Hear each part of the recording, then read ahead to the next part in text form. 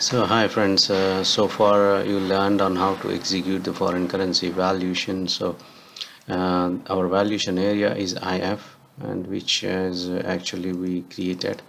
And when you're running using the valuation area you can see and um, here. So this is where the method valuation method.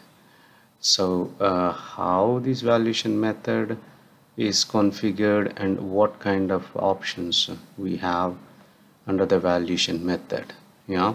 So I'm going to explain this uh, on what changes when you do what is going to happen here. So this is how I'm going to explain in this uh, video. So here uh, to go how to go to the valuation method settings in the SPRO so when you go to the SPRO and you need to go to the SPRO financial accounting general ledger periodic processing. I will go from the beginning. Maybe it's quite easier after you go to SPRO financial accounting general ledger periodic processing valuate and valuation methods. So here under the valuation method we already created. So valuation method with exchange rate type M9 so when you go to these options you can see. So I'm going to uh, explain here. So we always give always value it. Yeah? There is options also lowest value and strict lowest value principle and also always uh, value tender value so when these will applicable when you have already valuation already in place. So in our case I always choose the always value it so now I click save. So this actually the valuation method I created and uh, this valuation method will be a link to evaluation area. So you can see my valuation area is IF which is TR00 so if you want to do the valuation in the additional currencies also it can be done and um, using the company code currency itself.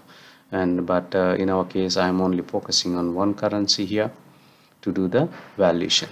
So now I go back and uh, here uh, check the accounting principle to the ledger group. So we have the ledger groups here. So in the case of our um, ledger groups we already maintained uh, here this accounting principle where it is linked to which ledger. So I have a, GAAP and also the local GAAP and IAS ledger. So all these are already mapped. So in the case of here you are assigning account accounting principle to the ledger group and assigning evaluation area which is IF is to my IAS so this is where I am assigning my in IAS valuation accounting principle to this group. So now after that then you can do the valuation. So now what is the key here? What changes if we do? And what system is going to do? Huh? so when I go here so we use always evaluate. So when you do currently we already done using this option here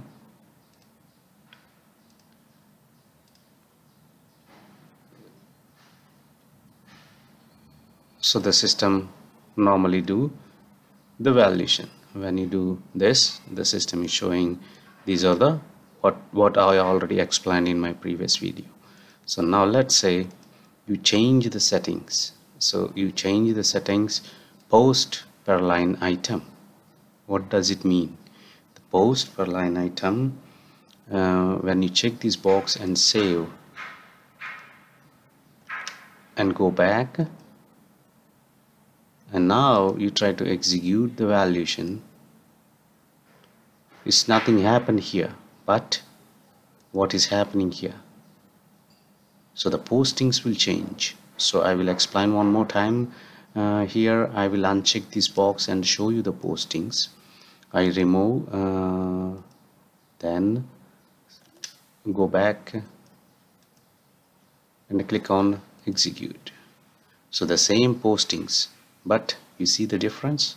So it is posting a summarized values. So in the case of uh, here you see 1439.18 so here 1.39 this is all this data is summarized and posting the valuation gain or loss based on this account determination which is maintained in the backend uh, for the account determination.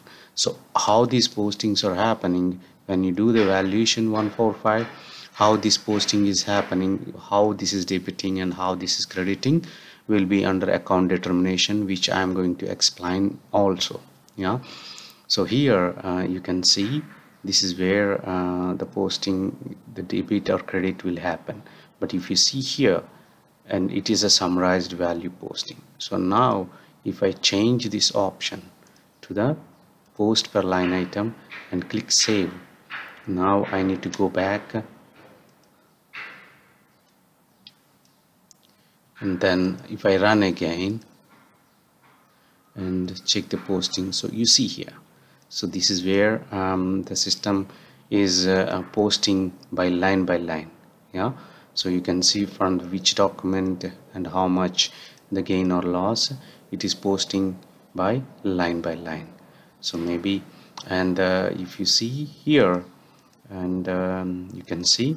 So this is you, you may be having a doubt how, how come this is a, a different posting which is 73 it is posting and it is splitting this one here. So you can see here so this is a 73 which is a posting also by the system.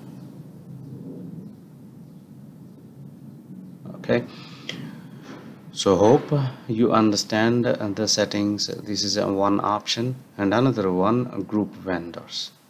So when I click this option so here when when you check the group vendor so when I go back and execute when I include a, a valuation group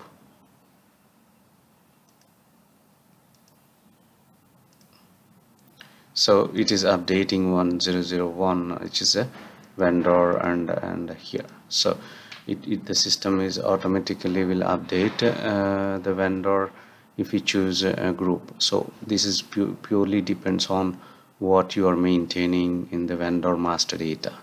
So actually I maintain the vendor master data there is a grouping key. So for 10004 I maintained and also 1002 I maintain. But in the case of customer I, I don't maintain anything so it's showing a blank here. So this is where um, the system is automatically updating the valuation group when I'm changing the options here.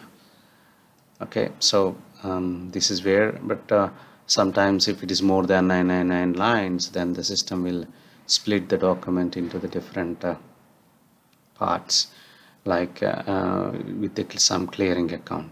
So the exchange rate uh, type from the account balance will be determined and here the exchange rate type from the invoice reference will be determined. So you can set usually we use from the account balance here. So now click save. So this is a valuation method we created so when you go to the time dependency so there is some options here with the so if you are changing the, any the evaluation methods uh, here you can maintain the effective date from when to when and and and on all these uh, the term is applicable from which date to which date. So all these uh, can be maintained 0 to 0 so let's say my valuation is is always a monthly. And uh, so exchange rate type determination uh, for the credit and debit I leave this blank. So so you can you can you can define you can decide let's say for the effect from which date you want it to be applicable this this valuation method. Then the system will automatically uh, use uh, the valid from date as the, the particular date. So this is purely depends on um, your local uh, requirements. And if there is any change you can create a new valuation method. And and uh, always valuate principle is applicable uh, from let's say you are changing your mind to lowest principle.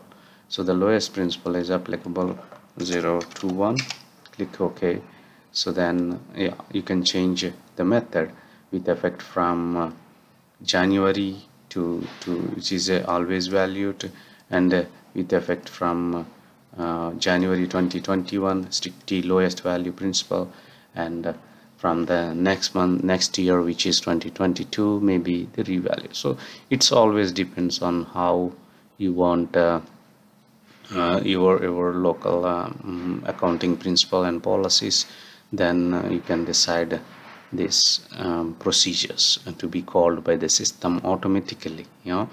So when you're running the foreign currency valuation. Okay. So now um, in the next session I am going to explain more about the valuation area which I showed here also. And uh, thank you